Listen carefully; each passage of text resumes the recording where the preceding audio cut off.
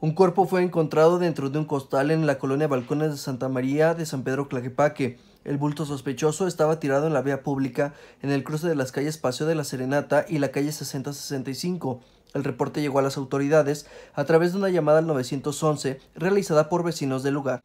Atendiendo la denuncia, elementos de la policía municipal acudieron al lugar y confirmaron que en el interior del costal blanco había un cuerpo, por lo que dieron aviso al personal de servicios médicos municipales, quienes confirmaron por protocolo la muerte de la persona, mencionando que por las características del cuerpo podría tratarse de un hombre.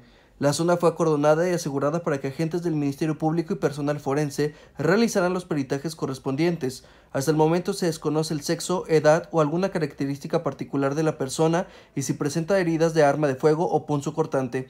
Será la Fiscalía del Estado la que dé a conocer más información sobre este homicidio cuando concluyan con las investigaciones. Reportó Yatnael Ortiz.